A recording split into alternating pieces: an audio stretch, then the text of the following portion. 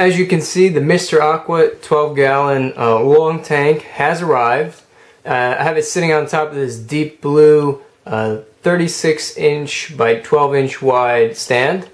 Um, I got the Series 2 version. that You can see it has like this carbon fiber look sit uh, right through the middle.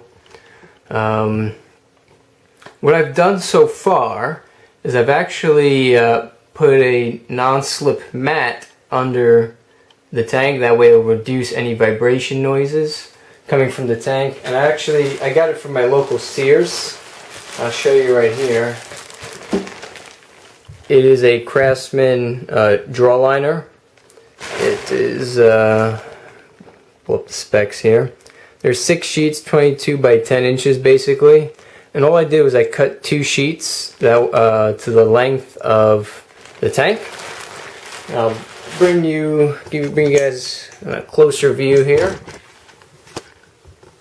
So you can see right here, super thin, barely noticeable unless you're looking for it, uh, is the mat. That way any vibration noises that are coming from the tank will be uh, reduced.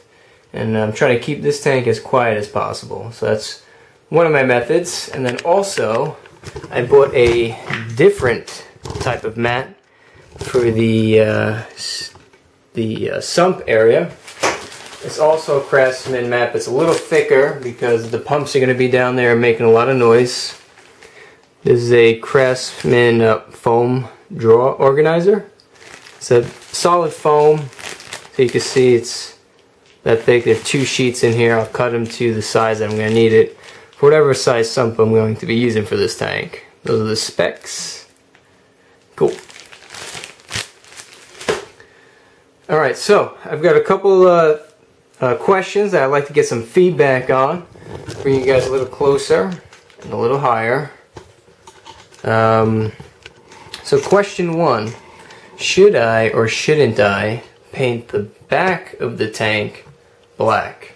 Let me give you some background information. So far what I've decided to do for plumbing, alright, there will be a half inch bulkhead on the right side of the tank and there will be a half inch bulkhead on the left side of the tank. Now we'll be drilling the tank. Alright, so you can see the bulkheads are going to be one on each side.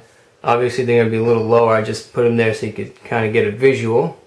Um, also in the middle of the tank, right about here, would be a uh, PF eShopps Nano overflow box that'll drain down into the sump.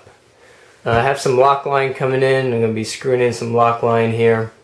So basically, um, what kind, uh, should I or shouldn't I paint the back of the tank black?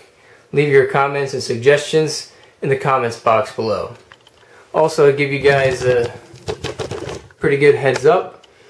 There will, I just ordered two aqua illumination hydras for this tank. Those are those brand new lights that uh, AI just came out with. I bought the hanging kit, so I'm just going to hang it from the ceiling and they're going to float over the tank. Pretty cool. A lot more videos to come. Uh, if you guys have any questions, comments, concerns, feedback, please leave them in the comments section below. This is going to be Archangel signing out, and I'll catch you next week.